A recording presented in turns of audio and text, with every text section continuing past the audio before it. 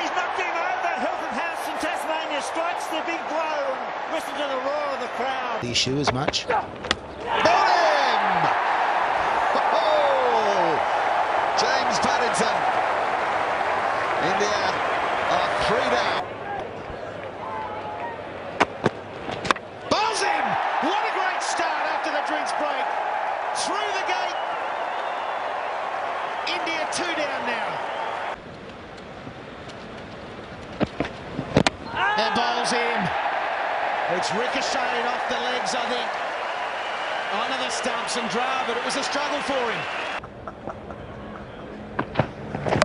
Oh! The lot go over.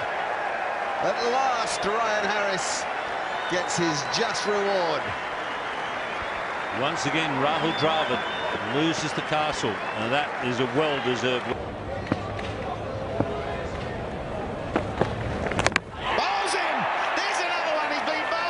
In the series, and Hilfenhaus has found the gap again between bat and